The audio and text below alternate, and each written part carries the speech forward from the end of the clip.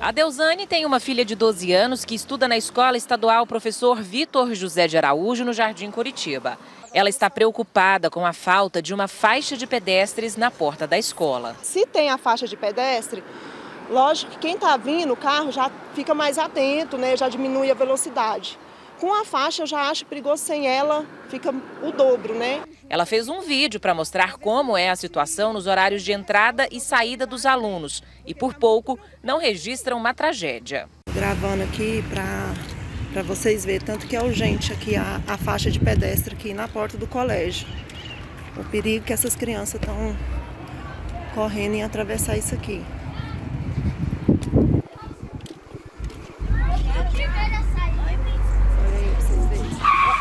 Meu Olha o que, que aconteceu!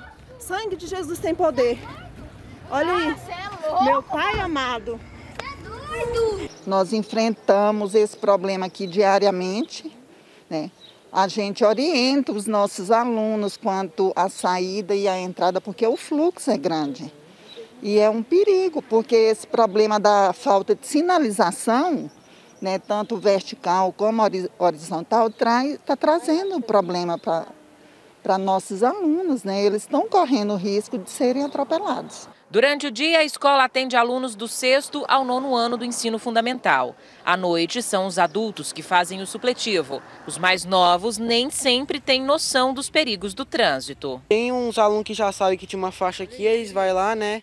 E, e sobe até aqui em cima e vem aqui por causa desse, desse muretinho que tem aqui. Eles confiam que o carro vai parar. Uhum. Os moradores aqui do Jardim Curitiba dizem que em maio desse ano a prefeitura passou por aqui, recapeou todas as ruas e que isso ficou muito bom. Só que com asfalto de alta qualidade e em pista reta, os motoristas tendem a acelerar. Falta sim uma faixa de pedestres na porta da escola, mas falta sinalização também em todas as ruas que foram recapeadas. Eles levaram a essa ilha até mais lá na frente e abriu. Mas mesmo assim, quando o motorista faz o contorno, porque ali naquela esquina não entra, faz a sair.